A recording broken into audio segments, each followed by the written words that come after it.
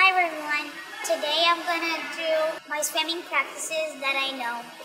I'm gonna do freestyle, backstroke, butterfly, and breaststroke.